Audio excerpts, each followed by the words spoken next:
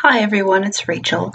So I just wanted to do a little update video to kind of um, explain some of the projects that I have coming up in the next few weeks, months-ish here. Um, fall is just finally starting to arrive here at uh, Grand Valley. It's a lovely, lovely, gloomy, rainy day and I'm actually like really happy about it. I'm chilling out here, doing chores, catching up on things, drinking coffee, enjoying the weather.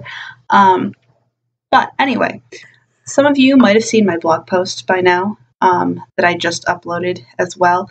And um, in it, I kind of explain some of the things that I'm planning to be up to.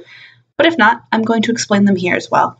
So, the first thing that's coming up is I'm going to be doing what I've called the Autumn Wild Hunt Challenge. It's a working title. We might change it to something else, but basically, from the full moon in September, um, September 16th, until the full moon in October, October 16th, I'm going to be focusing a lot in my videos, social media in general, um, blog posts, etc., on the wild hunt. And I'm going to be doing, you know, poetry and sharing some of my favorite stories and talking about how they um, come into different parts of my practice.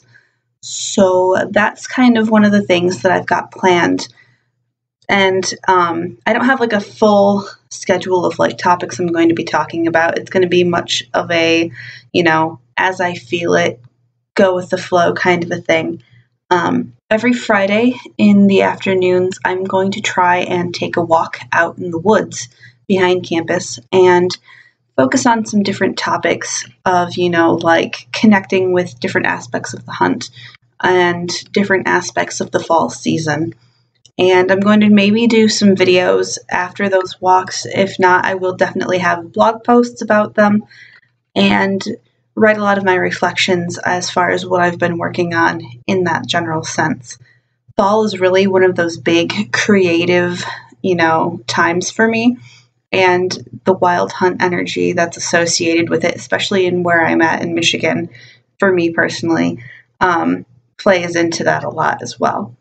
So I'm going to be doing that. Um, and then, of course, the um, new moon in October is just before Samhain. So I'm thinking that I'm going to spend that period of time between the October full moon when this challenge ends and the new moon, that whole waning period, to really um, get into the groove for Samhain and for the new moon and that sort of dark shadow work, deep spiritual stuff that's associated with that Sabbath. And that one's more of a work in progress, and I'll explain that once I've figured out precisely what I'm doing for it. But that's an idea I have rattling around in my head. Um, in October, I'm thinking about picking up Inktober, um, where you do a daily like ink drawing every day.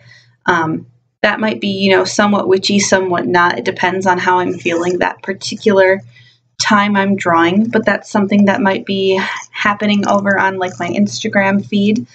Um, I'm also planning on picking up the YouTube Pagan Challenge, and I thought about just like, you know, starting where everyone else is at, but that feels a little bit like abruptly jumping to like things later in the challenge. So I'm going to start it from week two because I explained the prompt for week one in my first video.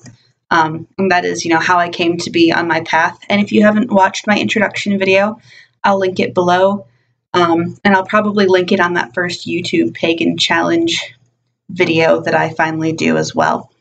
So that's the stuff that's coming up, guys. I hope that you're all having a fantastic um, September so far, and I look forward to posting more content. Blessed be.